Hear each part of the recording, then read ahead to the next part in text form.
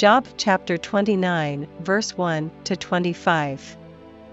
Moreover, Job continued his parable, and said, Oh, that I were as in months past, as in the days when God preserved me.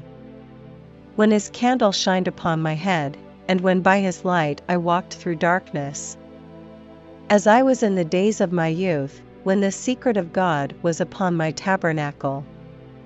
When the Almighty was yet with me, when my children were about me. When I washed my steps with butter, and the rock poured me out rivers of oil. When I went out to the gate through the city, when I prepared my seat in the street. The young men saw me, and hid themselves, and the aged arose, and stood up.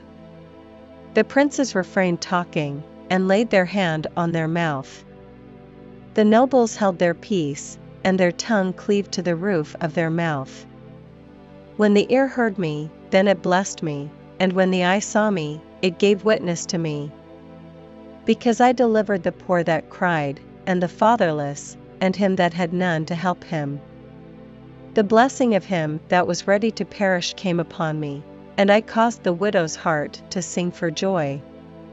I put on righteousness, and it clothed me, my judgment was as a robe and a diadem. I was eyes to the blind, and feet was I to the lame. I was a father to the poor, and the cause which I knew not I searched out. And I brake the jaws of the wicked, and plucked the spoil out of his teeth. Then I said, I shall die in my nest, and I shall multiply my days as the sand.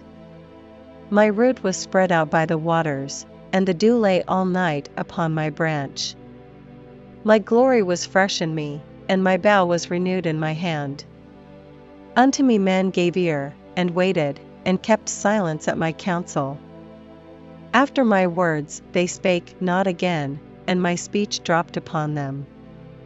And they waited for me as for the rain, and they opened their mouth wide as for the latter rain. If I laughed on them, they believed it not, and the light of my countenance they cast not down. I chose out their way, and sat chief, and dwelt as a king in the army, as one that comforteth the mourners.